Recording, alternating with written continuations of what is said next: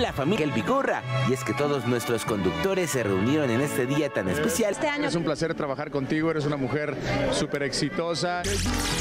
Fue una tarde especial en la que Raquel estuvo rodeada de grandes amigos. Que tus sueños se hagan realidad, que continúes con mucha salud y mucho éxito. Felicidades Raquel y que vengan muchos años más llenos de éxito.